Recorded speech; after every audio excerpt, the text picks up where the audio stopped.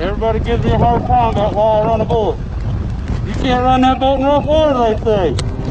Well, no, says I.